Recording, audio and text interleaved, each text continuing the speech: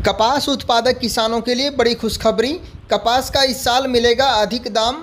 वैश्विक बाज़ार में बढ़ी कीमत, सात साल बाद देखी गई इतनी तेज़ी। वैश्विक बाज़ार में रुई व सरकी के दामों में तेज़ी के कारण इस सीज़न में कपास उत्पादक किसानों की गारंटी मूल्य से अधिक दाम मिलने की संभावना है, जिससे किसानों को बड़ी राहत मिलेगी।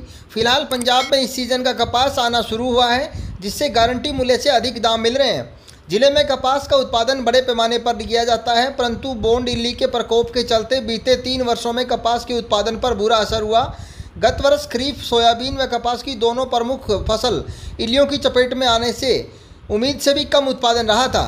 तो वहीं इस साल कपास का क्षेत्रफल भी घटा है। एक किलो रुई का दाम एक रुपये, वर्तमान में विश्व बाज़ार में एक पाउंड यानी आधा किलो रुई का भाव एक डॉलर दो सेंट तक जा पहुँचा है। इसका मतलब एक किलो रुई को एक रुपये किलो का दाम मिल रहा है। सात वर्ष के बाद कपास के दामों में इस वर्ष अच्छी तेज़ी देखने को मिली।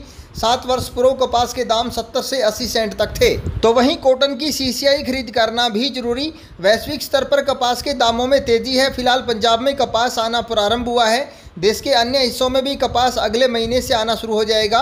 किंतु कपास की आवक बढ़ने पर व्यापारी दाम गिरा सकते हैं। जिससे सरकार ने सीसीआई के माध्यम से खरीद करना आवश्यक है।